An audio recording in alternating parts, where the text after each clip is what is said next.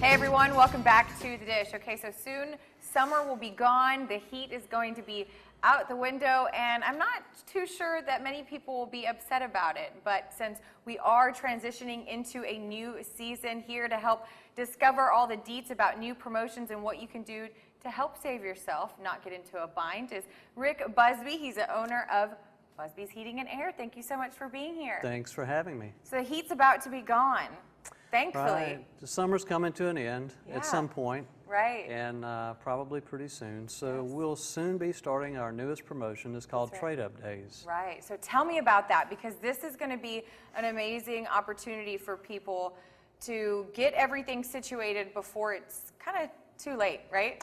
right. Well, you know, during the middle of the summer, we're so busy, we just don't discount anything, and all of our pricing is prefigured and, and pre-printed in a book. Mm-hmm. But during Trade Up Days, which will start soon in September, there are specific discounts on different models of equipment that we sell, on just about everything that we sell. I see. And so the higher the efficiency of the system, the larger The discount the discount. Okay. And so we're encouraging people to trade up that old inefficient system to a new higher efficiency Right. system while you can get the discount. Take advantage of us not being busy Mm-hmm. and save some money.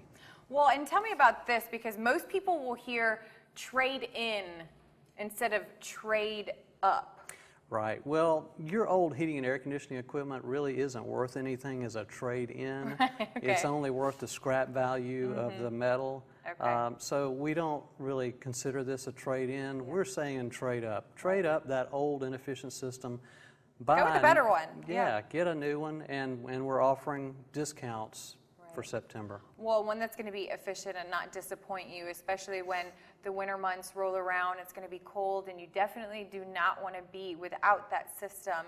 Um, and I know that you said depending on the type of system that you get, um, will also vary on the discount that you get. Right. But let's talk about um, the refrigerant in the old system, anyways, because lots of things are changing. People are going to need to trade up no matter what. Right. Uh, a lot of systems out there use R22, and R22 will no longer be manufactured after 2020. Okay. And so the price of that refrigerant is going up exponentially, and those systems are, are inefficient and really need to be replaced. And you can trade up right now to a new high efficiency system and receive a discount of up to $1,500. Wow. Okay, and that's what I was going to get into. Can you get into the details about some of those trade up discounts that people are going to see on their systems? Well, we offer several different systems from a very standard basic system all the way up to a five speed high efficiency system, which, which will operate at five different levels of uh, cooling that it will provide.